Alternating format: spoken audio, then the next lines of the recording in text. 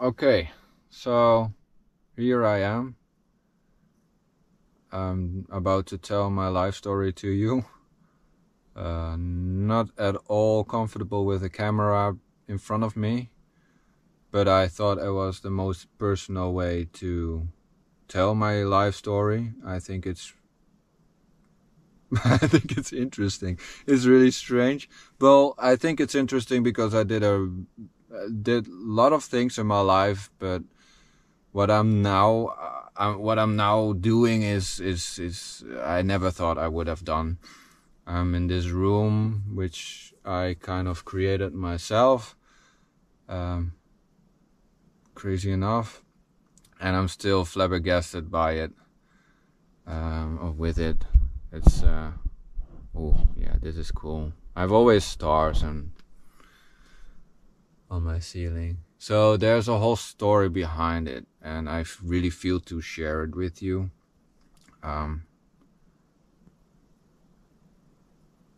that we can change and that we can do lots of things in our lives and i think we all have our own stories and i think it's really interesting to share our stories with each other because we can learn from from them uh, so I just pretend that I'm talking with a person instead of sitting in front of a camera.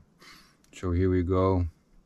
Oh, tell us something about yourself. Oh, how did you end up in this room? well, uh,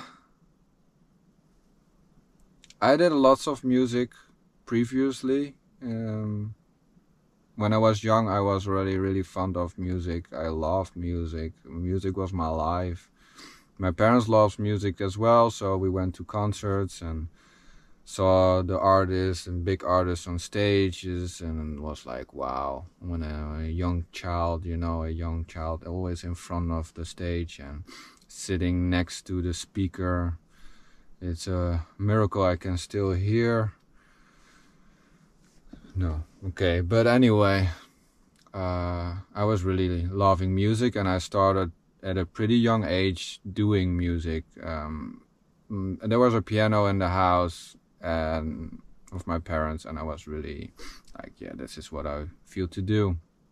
So I started uh, specializing after my parents said, like, yeah, you can do just one or you know just focus on one thing uh, because I loved sports. I was like outdoors all the time and did all things, but music was eventually really my focus point, and I really thought like I can make a living of this. Uh, I started to do classical, um, so I got some private lessons for some years. I think I don't remember that well, but. Uh, eventually I was just like, I want to play with other kids. I would like to play with other instruments and, and bands and all that stuff. I would like to play together.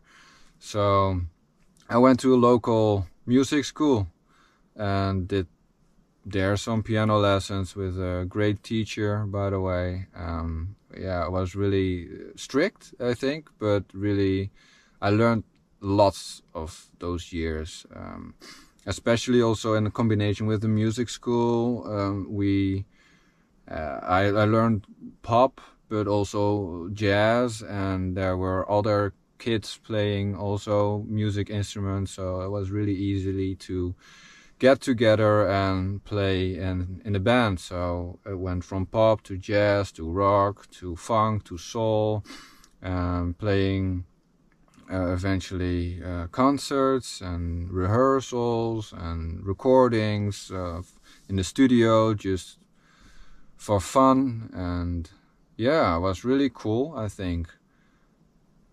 But it was also overwhelming. Um, and i'm not only talking about this as if it was uh, a dream life. Uh, contrary i think it uh, uh, as I remember, I have nice memories. Of course, there were lots of fun and a lot of things, but there was also, I think, one of the most heaviest time in my life. I don't have the feeling I had really a a young uh, uh, uh, when I was young, a, childhood which was normal. Uh, there are so many details of this, and maybe I will make uh, uh, or write a book about it or something, or take more time for it. So, music school, but pretty overwhelming with the bands because, you know, anyway, I was going, and it was like a snowball effect, and uh, I played in a jazz band with some, yeah, same age, uh, and we were really young, and we played concerts here and there. Eventually, I played with more bands around it, and uh, yeah, at the same time, I had the high school, so uh, I still had to do school and did my homework, but I was, yeah, playing more and more music and I didn't had the priority anymore to do school. So at a really young age, I was already, I needed to make choices like, okay, am I going to play with friends or am I studying music? You know, am I practicing or am I writing or I'm working on my technique? And okay, I'm not saying that I was always dedicated to practice.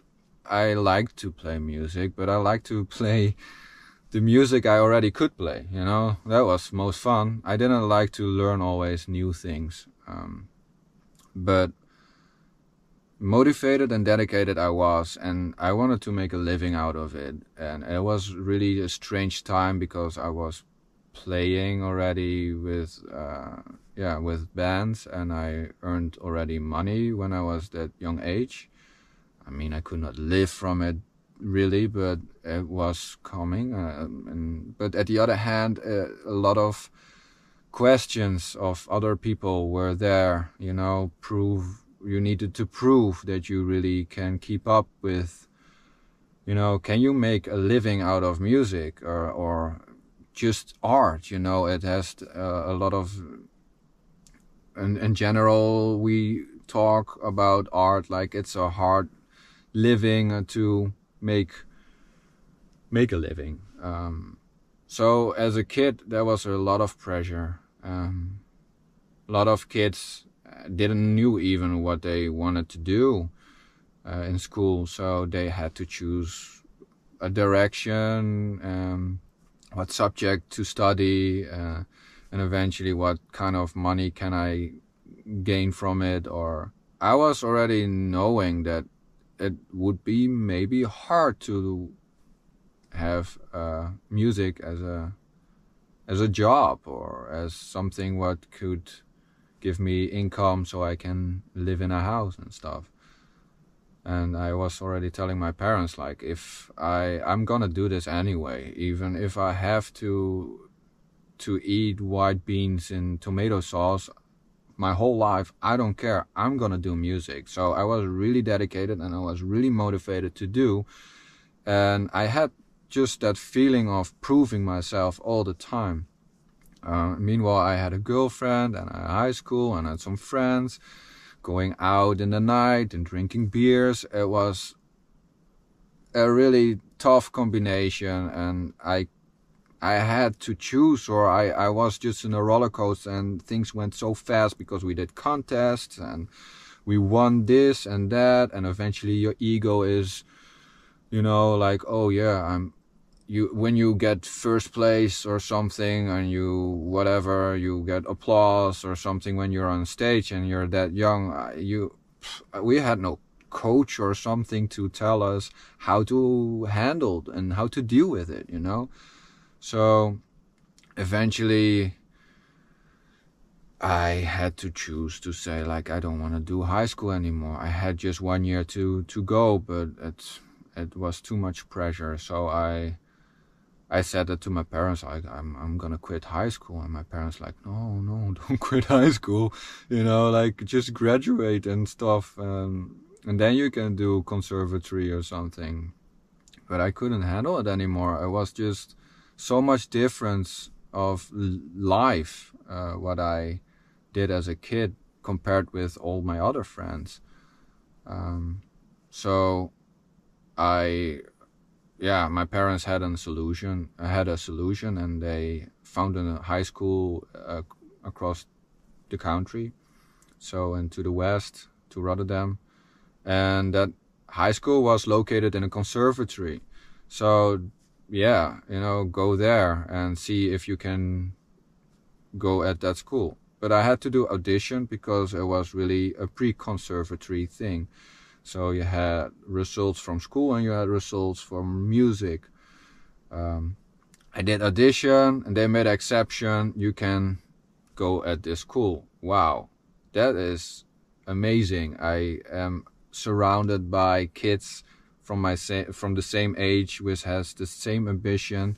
Meanwhile, I'm at school, but to be honest, the the the level was much higher than I am used to. I was just in a local music school and I learned some things, but there was much more to learn and things I've never learned before. So that was one thing. Uh, then I had to adjust with all and adapt all all the things of of with friends and stuff like that, making friends and you know, little village, big city, world city. Um, had to move and live on my own. Uh, never done that before. I was, I don't know, 17, 18 years old or something. I had a girlfriend back at the the village. Uh, my friends I had to leave behind. My parents were not there. It was a two and a half, three hours drive. Uh, there were a lot of things I had to take account for and, and just know the whole public system and when I was biking in the village I had not to watch out or something for cars or whatever and I mean yeah just some but this was like all the cars came from everywhere and suddenly there was a tram in front of me and whew, a lot of things. Um, I managed to to do my washing clothes and stuff like that and cooking and everything went okay but the whole circumstances of being alone uh, was pretty hard. Lots of other details i would spare you. Um, it's not really um, yeah it's important but it's okay uh, there were uh, there were hard times. It's just uh, there was so much and um, I just needed to keep up with uh, everything what was new. To live on my own to make food to wash my clothes to go to school at, at uh, you know at the right time because i was the only one. There was no parent saying like hey you need to go or whatever and i needed suddenly to grow up. I needed just suddenly need to be uh, an adult. So that was pretty intense. And most of the kids you know at that school lived at an aunt or lived close close and and they could you know go by train or something. Um, so yeah it was it was a was an overwhelming time from yeah the moving to from a small village to a big city so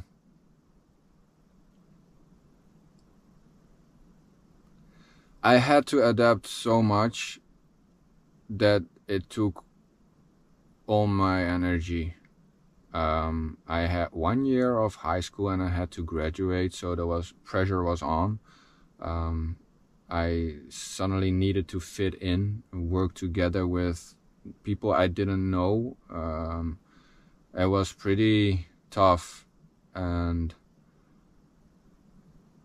just overwhelming um, as a as a young kid you had nobody around you which could support you or show you the way how to live there and eventually i got used to it but it was still overwhelming uh, with um, the tasks i needed to do. There was even you know a music teacher from the conservatory where i had to go and had to play three jazz standards every week and needed to play the whole song with melody and eventually um, guide yourself with the left hand and play a solo in the right hand and stuff. And that was just too much. I couldn't handle it anymore. I had to sing notes from from sheets, uh, classical stuff. I had no idea. I mean, what what the you know it was crazy. I was maybe a too. I was maybe a big too big too yeah a, a step too far. I think. Um, a, a, a too big step. Um, so yeah, I worked my uh, I, I worked so much and 17 hours of the day I was just going, going, going, going, going. I had just sleep and I had to go again. And I mean, I just learned to cook for myself, but eventually I had just to cook in the night for the next day because I had to go to school. And after school, I could study in a room uh, with a piano and practice. And then when I was hungry, I could heat up my dinner which I made the night before and put it in the microwave and eat and go until closing time at 10 o'clock and then I went back again fixing all the stuff cooking again for the next day practicing a bit still and in midnight I had to sleep wake up again go do homework when I don't know you know it was just overwhelming with all stuff so it was that heavy that I had injury in my wrists. Uh, it's like uh, an elastic band which you have around your wrists, uh, and it went too tight um, with both hands. And as you hear, I still have it. It's uh, still the pain I feel from that moment and that time, and that's pretty hard. Not fun you know these stories uh, i had to uh, they sent me to a special medical uh, hospital which were specialized in those cases of i don't know sports and music and stuff like that. And many people apparently has this injury uh, and the only thing was surgery. So they had to cut the elastic band put some I don't know skin from my ass and put it together so the band was the a bit more wider so it's you won't hear this and it is not painful anymore. 99% of chance it would work. Well it didn't work because I didn't do it. I just thought like this is not a solution. I just did too much. I am I'm burned out. I cannot do it anymore. So I have to choose which what which direction I have to go because high school is not working. Meanwhile, I had to do music and it was totally new for me with lots of things. Meanwhile, I had to learn to live on my own without any support and with all other circumstances I will spare you. Um, yeah. Meanwhile, my friends back there in the in my little old village uh, I had just and my girlfriend uh, was there, so it was really alone, pretty lonely time, pretty depressing. Of course, I had some friends and I had some fun, but it was just irresponsible to live like this. It went hard, more hard when I heard from my music teacher that I never will reach conservatory in my life ever. That's what he literally said to me and that was like a knife in my heart. It was really it was like I did everything for music and a music teacher from conser- from the conservatory is telling me that I will never reach conservatory ever. I will never be accepted at the conservatory um, that was really painful. And at the same time, my girlfriend from the Oliveira village broke up with me. And afterwards, I found out my best friend was with my girlfriend. So it was terrible. It was really terrible to experience something like that in my life. Um, I, I had no friends for real. The friends I had at the high school, the new high school, had to go home, so they couldn't. I mean, sometimes they spent the night or something, but I was most of the time just alone and yeah. Didn't really had the feeling anymore to live. My window was almost a solution because I was I think on the fourth floor or third floor of a big building in Rotterdam and uh, yeah. It was really hard. Um, I just were lay I was just laying in my bed and, and, and woke up and stood up when I had to drink water or something. And and I went back again laying in bed thinking that my life was over my love was over my music was over. I never will be accepted at a conservatory ever in my life. And one person told me that that thing that whoa. So, to continue, I had the guts to get up again and thought like, okay, you know, that guy is saying that to me, but is it true? There was an open day in Utrecht uh, at the conservatory, so I could go there. I just go there without any expectations, or I mean the expectation that they would say the same, and just to get to be sure like is this for real? Am i really that bad in music or? So i went there and the crazy thing was i played my own song. It's called satisfied uh, a teacher was didn't even knew what i was playing and he played next to me at the at the other grand piano. And it was amazing and I felt he understood me so much and he said like what uh, where where do you gonna do uh, audition this year? Or are you gonna do audition? I was like well I've heard just recently from my teacher I will never be accepted at conservatory ever in my life and he was so shocked and he thought like what and I just heard this totally totally different story. I just heard the opposite. Uh, he said like, you know, that's not true. If you do audition somewhere or wherever, you will be accepted. And it's like, what? What's going on here? So from that moment, I just thought like, okay, I'm gonna take this 50-50 chance. I believe this guy more than the guy who told me that I will never reach the conservatory ever. So talk with my parents we're sitting at a dinner and I talked with them and I said like you know what I'm uh, I'm about to quit high school again um, with a reason that I I have now two months or something to really prepare myself for the auditions at the conservatory I choose this conservatory this conservatory and this conservatory and if then it doesn't work then I'm out and I'm so then I'm okay then I'm I'm, I'm I have peace with it so my parents agreed and I quit high school there as well.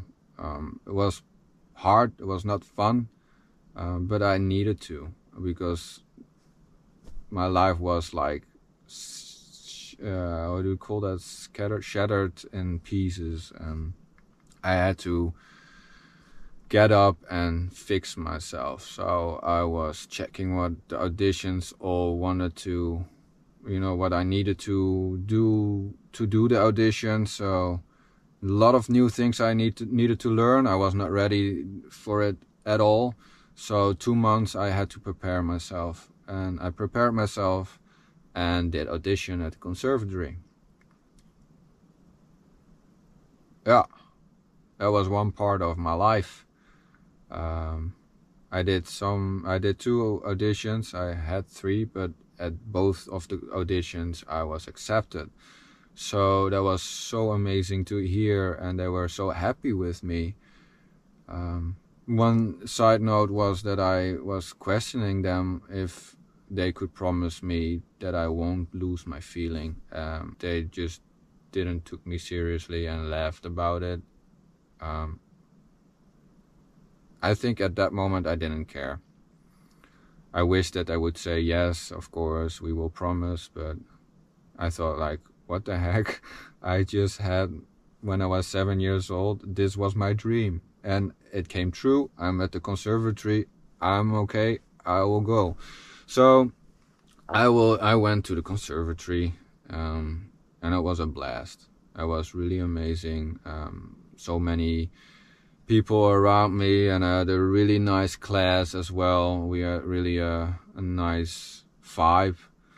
Um, lots of home parties, you know, like uh, I don't know, what do you call that? Home parties? Yeah, home party, huh? No, home party. Lots of. How you call that again? I'm not even knowing anymore how it's calling. Well, you know what I mean. New home and a party. Um, lots of fun and stuff like that. Uh, but then the tasks came as well. You know, I I was burned out, uh, but I was accepted, and you know, just forget everything and enjoy. And it was really cool, and it was really fun, and new things to learn, and new things to play, and everything. Um, so yeah, that was the first year.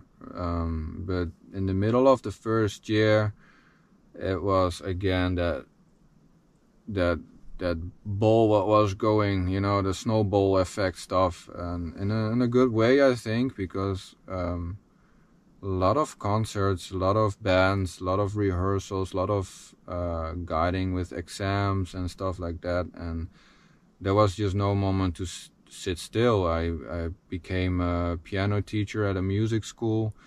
Um, and meanwhile, I did just conservatory, uh, and it just went going and going on and on and on and on. And I forgot my own personal piano tasks as well. You know, I needed to still do the exams to reach the next year, and it was just overwhelming as well. There was no time that there was not that much time at all to write music.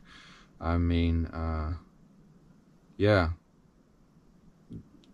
as you will see, there are some songs, but that was all in exhaustion and just, you know, use the time you still have or something.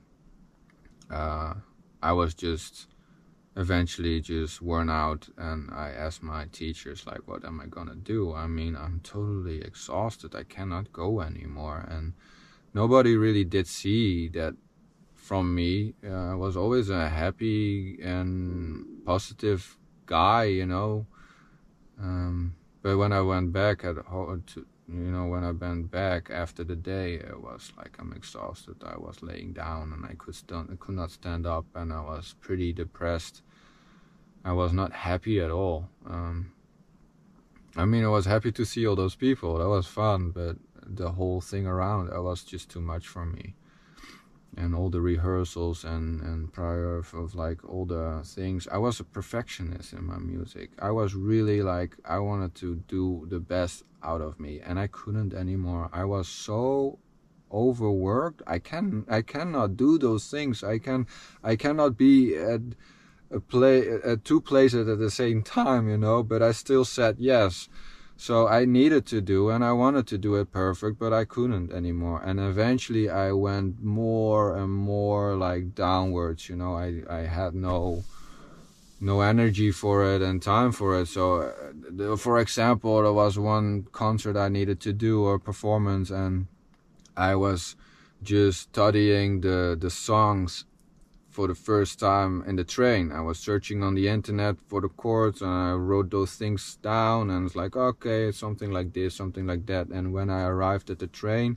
like uh, a half hour later, I did sound check and, and yeah, play, uh, play live. And, and no, it didn't went perfect at all. Or I was watching the whole time the, the MacBook. I was not even listening to the music anymore. I had no respect for the people where I, where uh, where I was playing with because they did study and they could play the songs and I just yeah I could play the song but it was copy paste and I didn't even enjoy the song because and there was not even respect for the for the artist itself, you know, who who did write the song. So lots of those things happened more and more and I was driving this way and that way and it just kept on going. And my teacher said crazy enough say yes to everything. So I did say yes to everything so it went even worse.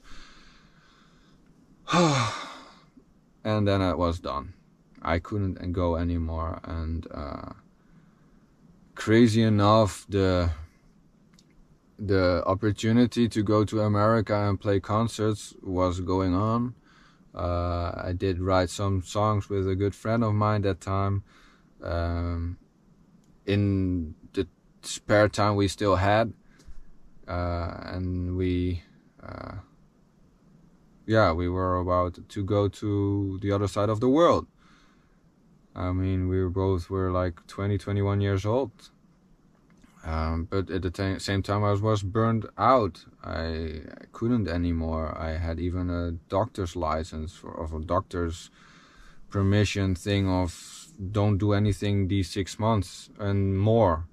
Uh, so many things, you know. I wanted to do this, but I couldn't anymore. But I have this opportunity, but I had to do this as well. I, I lived just more lives at one time and yeah. So, did I go to America?